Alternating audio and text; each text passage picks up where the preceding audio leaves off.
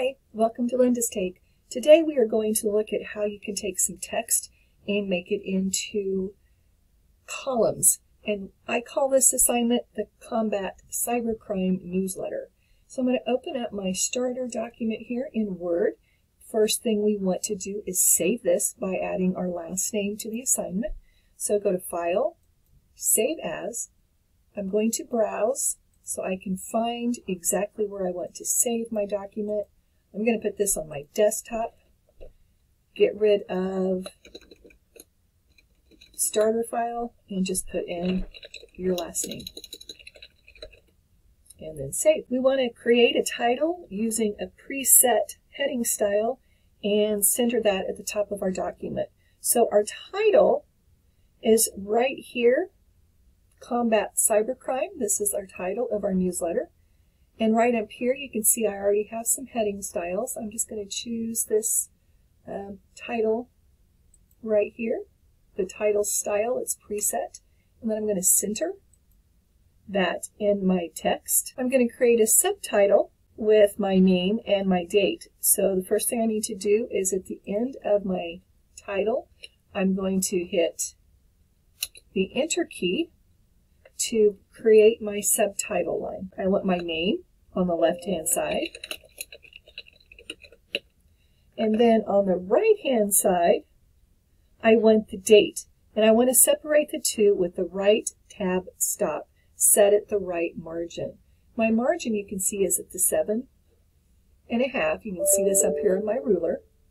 If you don't see your ruler, come up to your View tab and right here is where you can toggle your ruler on and off. To set my tab, I'm going to come over here in the paragraph grouping on my Home tab, and I'm going to select this dialog box launcher right here in the corner. In this little paragraph box that pops up, I'm going to scroll down to tabs. I want my tab stop position to be at 7.5, my right margin there. I want a right tab. In other words, I want my text to scroll over from my tab.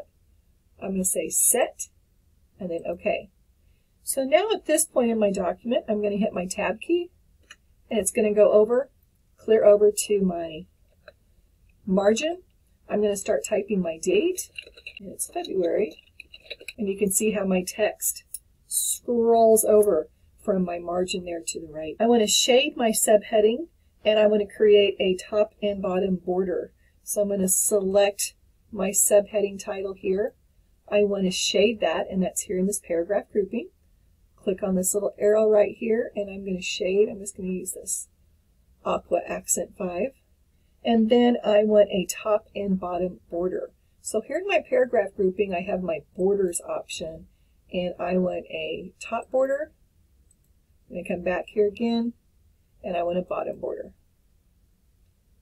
So now I've created my title for my newsletter and my subtitle. So now I want to take my text for the rest of my document and I want to make it into three columns. So to do that, I'm going to come up here to where it says columns and I want to be specific about my columns. So I'm going to come clear down to the bottom and choose more columns. At this point, I can choose three columns. I want the line to show in between my columns. Spacing, I'm going to change this to 0.25. And I want to make sure where it apply to, I don't want to apply it to the whole document. I don't want my title and subtitle to be in the columns. So I'm going to click on this arrow right here and say from this point forward. So that means my text from where my insertion point is to the end is going to be created into three columns. Say OK. You can see now I have everything on one page. Now let's make a little more, some more changes to make it look a little better. I want to choose any paragraph in my document and make it stand out. I'm going to want to put a paragraph border around it and highlight it the same color I highlighted my subtitle. So I'm just going to select this paragraph over here. You can select whichever one you want. And up here on the Home tab, in my paragraph, I've got my, my little shading button. I'm going to shade that paragraph. And then I'm going to come over here to my borders again. and I want outside borders and it's just going to put that border just around that paragraph just to make it stand out a little bit to my readers. I'm going to take some text and I'm going to make it into a bulleted list. So I'm going to start with the text partnership with owners right here. I'm going to put my insertion point right in front of that P. And I'm going to go down to the education about how the public can stay safe online. And I'm going to select those four paragraphs. And I am going to come up here to my bulleted list and I'm going to select this drop down arrow. And we're asked to create a customized bulleted list, not to use the round dot bullets. So I'm just going to use this check mark right here. So it's going to put check marks by all of those paragraphs. And then the last thing it asks me to do to this is to decrease the indent so that my, I want my bullets to line up with the left margin here. So up here in my paragraph grouping, I have my decrease and increase indent buttons. I'm going to decrease it and move that over so that it's lined up right there with my left margin. I want to bold some text to make it stand out. I want to bold this title and securing the cyber ecosystem. I want it to be bold. Responding quickly to cyber vulnerabilities, bold. And identifying cyber vulnerabilities. I want that also to be bold, just so that they stand out in our document. I'm going to come down here to my Zoom tab and I'm going to um, zoom out a couple of times so you can see my entire page here. I want to change some of my spacing. I want to move my text around in my columns. So to do that, I'm going to insert column breaks in specific areas. I'm going to put one right here in front of this combating cyber threats.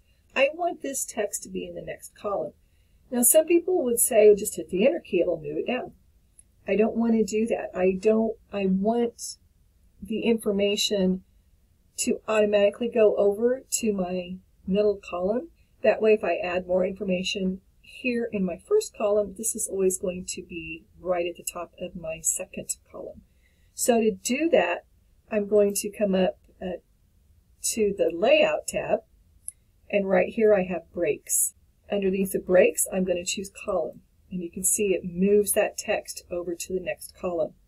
I also want to put a column break before this identifying cyber vulnerabilities. So I put my insertion point right in front of that I, and again come up here to breaks under my layout tab, choose column, and it's going to move my text over there. I've had students ask me when I'm grading this, how do I know that you only put one tab there in the subtitle? How do I know that you put in column breaks in our document? I download each student's file and I turn on the Show Hide button to show your paragraphs. You should only have one tab key in your subtitle, not five or six. You should have a column break entered here at the bottom of your first column and the second column. So that's how you can create a text and change it into columns. It makes it a little easier to read. As always, thank you for joining me on Linda's Take, learning about Word. Please reach out if you have questions. If you like what you're seeing, please subscribe to my channel, like my videos, and I hope that wherever you're at today, it's sunny.